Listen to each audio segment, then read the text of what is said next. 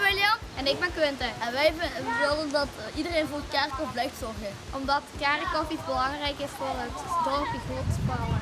Dit kerkhof mag nooit afgebroken worden omdat iedereen familie is van elkaar. Hier liggen ook veel grote heren, burgemeesters, pastoors. Deze kerk, de kerk van is ook een heel belangrijke plek. Wij hebben geleerd van jong en oud dat, dat ook begraven zijn in de kerk. En daarom moet iedereen de kerk dus